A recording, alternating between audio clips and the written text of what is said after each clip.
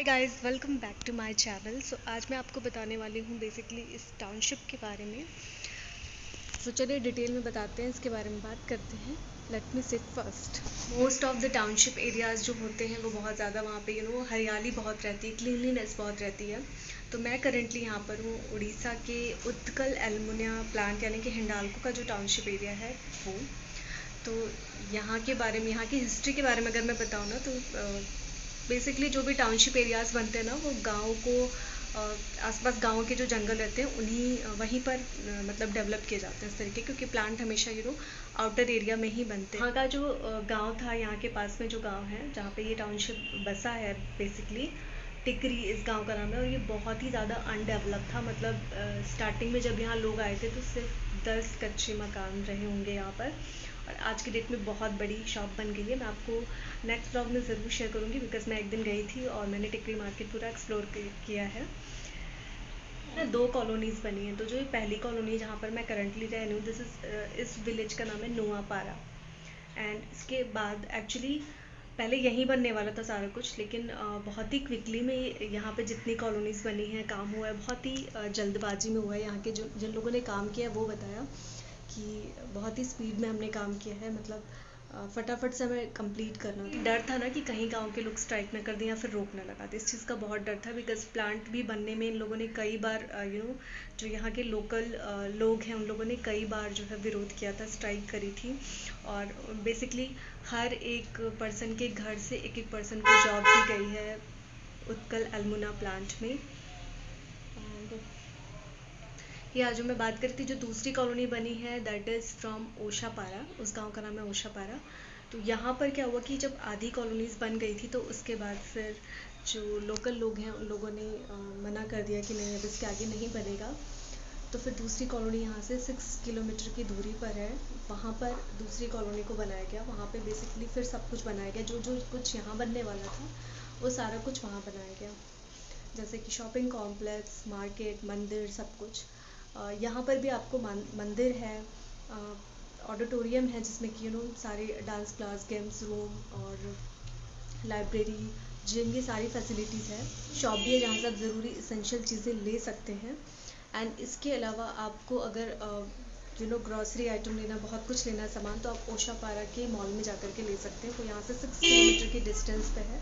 तो वहाँ एक अच्छा मॉल बन गया है जहाँ पे कि आप आ, सिर्फ़ you know it's just like a mall क्या शॉप ही है जहाँ से कि आप हर एक चीज़ें ही बेसिकली ले सकते हैं। और एक आध यू नो खाने पीने के आइटम के लिए एक आध रेस्टोरेंट टाइप का है। यहाँ पर आपको 24 फोर आवर्स पानी मिलता है, बिजली मिलती है पार्किंग की सुविधा दी गई है। कि सड़कें कैसी हैं, कितने स्पीड में आप गाड़ी चला सकते हो, ये सारी चीज़ें मैंने कैप्चर करी है। जब भी हम इवनिंग वॉक पर जाते हैं, तभी मैंने कुछ क्लिप शूट कर लिए थे, वो मैं आप सबके साथ शेयर करूँगी। यहाँ की मैं जिम एरिया में गई थी तो वहाँ पे कौन कौन से टूल्स है कौन सी मशीनें हैं, वो भी मैं आप सबके साथ शेयर करूँगी इसी वीडियो में। लाइब्रेरी बंद थी क्योंकि मैं इवनिंग में सेवन थर्टी के अराउंड गई थी मैं मैंने सोचा आप सबके साथ एक इंट्रो शेयर कर दूँ और बता दूँ कि बेसिकली मैं इस टाइम पर कहाँ पर हूँ उड़ीसा में। And and that's it for today's so चलिए मैं आपको सारी क्लिप्स दिखाती हूँ और डिटेल में बताती हूँ। सो so गाइज़ मैं आप सबको टाउनशिप का एक क्विक व्यू दिखाती हूँ। तो ये है यहाँ की सड़कें और ये है कॉलोनी और सारी चीज़ें मैं डिटेल में दिखाऊँगी। अभी बस जस्ट एक क्विक व्यू दिखा रही हूँ और सबसे पहले हम स्टार्ट करेंगे मंदिर से। तो सबसे पहले मैं आपको मंदिर के दर्शन कराती हूँ। So let's go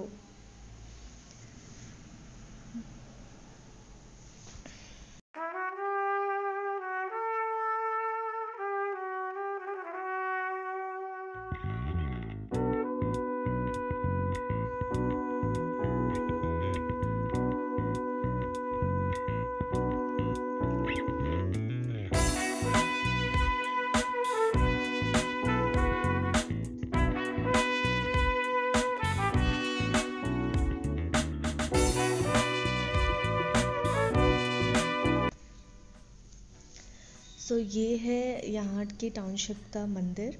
so so, यहाँ पर एक मंदिर नोआपारा में है और एक मंदिर जो है वो आपको ओशापारा में भी मिल जाएगा. तो सेम मंदिर का कॉन्सेप्ट ऐसा ही है. शिव जी का ये मंदिर है.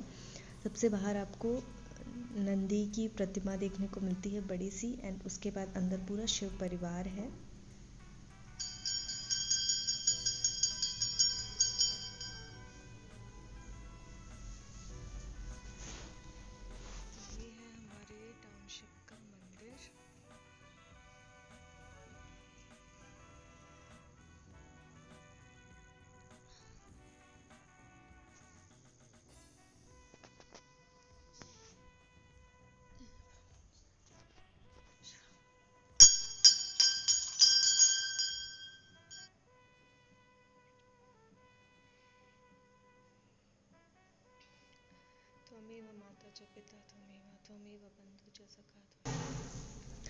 तो ये हैं भगवान शंकर भोलेनाथ।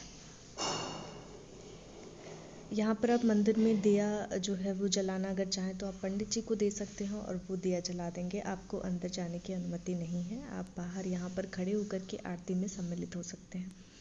ये हैं गणपति भगवान। ये हैं कार्तिक महाराज।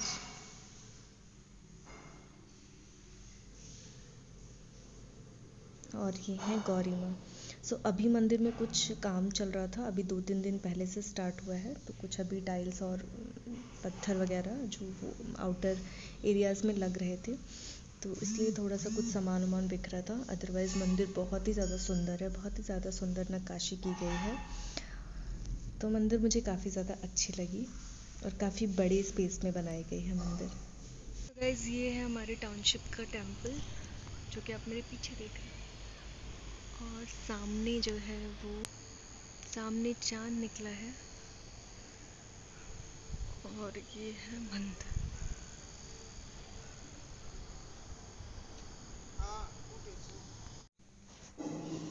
चलो अब मंदिर से आगे निकलकर हम पहुँचते हैं गेस्ट हाउस एरिया में। यहाँ पर जो भी ट्रेनीज आती हैं, या फिर जो भी गेस्ट आते हैं यहाँ पर, उनके लिए ये गेस्ट हाउस की फैसिलिटी अवेलेबल है। सो ये सारे जो हैं वो गेस्ट रूम्स हैं। और यहाँ पर इधर साइड में आपकी सारी ग्रोसरी शॉप है जो कि currently I don't know why बंद थी बस सब्ज़ी की शॉप खुली हुई थी। और बाकी सारी शॉप्स बंद थी।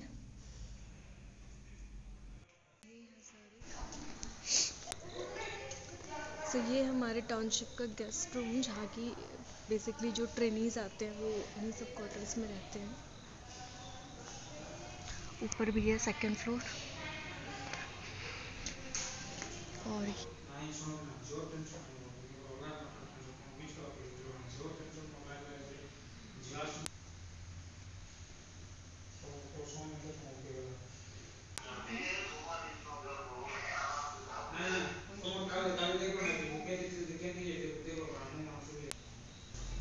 और ये है छोटा सा dining area you can see a mini restaurant so so, यहाँ पर आप फ़ूड आइटम्स आकर के एंजॉय कर सकते हैं।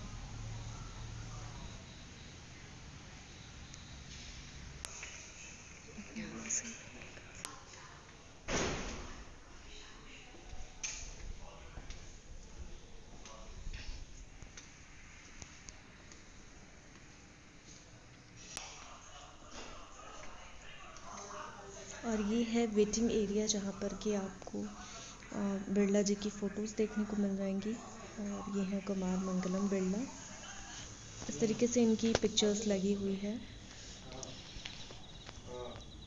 तो चलो अब इधर से बाहर निकलते हैं और आपको और चीज़ें दिखाते हैं।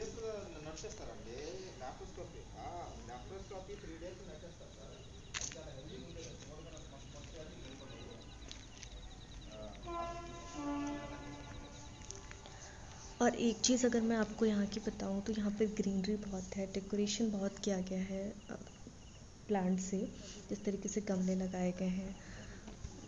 लेकिन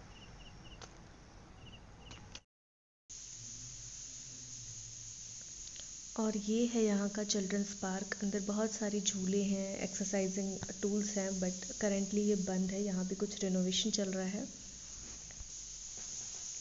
और विंटर का भी टाइम चल रहा है इसलिए शायद बच्चे यहाँ पर खेलने नहीं आ रहे हैं बट समर्स के टाइम में बहुत ज़्यादा यहाँ भीड़ रहती है मतलब आपको मौका ही नहीं मिलेगा किसी राइड पर बैठने का। सो so, चलो अब मैं यहाँ से चलती हूँ वो आप मंदिर देख रहे हैं सामने और ये मैं आपको पार्क के अंदर का व्यू दिखा रही हूँ इधर जाली से।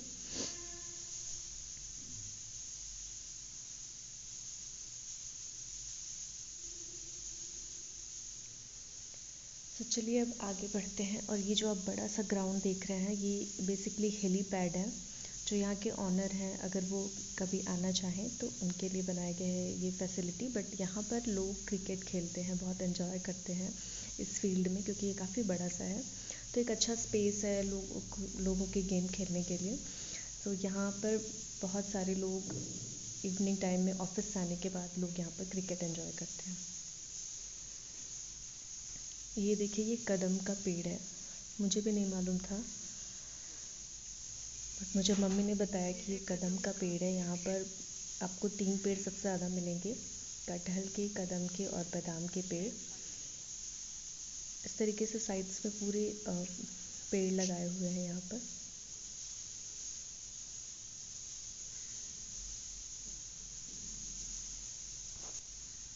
तो चलिए अब आप यहाँ की रोड्स देखिए और कॉलोनी देखिए। यहाँ आप 20 किलोमीटर पर आवर की स्पीड से ही गाड़ी चला सकते हैं। इससे ज़्यादा स्पीड में आप गाड़ी नहीं चला सकते बिकॉज़ हर जगह कैमरे लगे हुए हैं।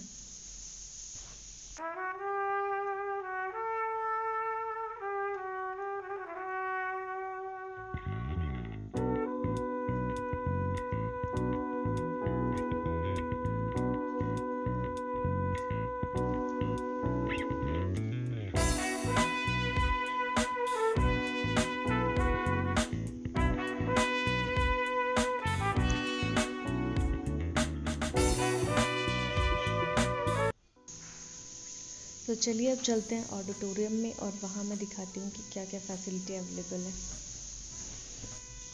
तो सबसे पहले है ये चेस और कैरम का रूम वहाँ पे आप चेस और कैरम खेल सकते हैं। उसके बाद यह लाइब्रेरी जो कि क्लोज़ हो चुकी थी क्योंकि मैं सेवन थर्टी पे गई थी और इवनिंग टाइम में लाइब्रेरी क्लोज़ कर देते हैं।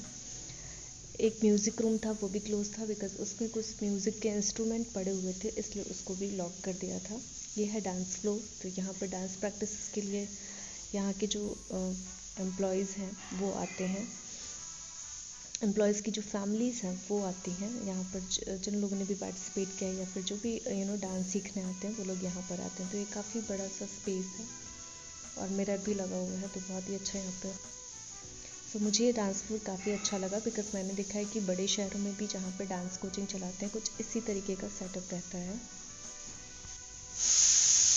और अब हम आ गए हैं जिम एरिया में। सो so, सबसे पहले मैंने मेरी नज़र जो है वो ट्रेडमिल पर ही गई और मैंने स्टार्ट करके स्टार्ट भी कर दिया वॉकिंग करना। एंड ट्रेडमिल के बाद यहाँ पर बहुत सारी यू नो मशीनें हैं जिनके बारे में तो मुझे एग्जैक्टली exactly पता भी नहीं था। जो यहाँ के ट्रेनर है अगर मैं उनसे पूछूँ तो मुझे काफ़ी कुछ जानने को मिलेगा। चलिए जो कुछ भी है वो मैं आपको दिखाती हूँ।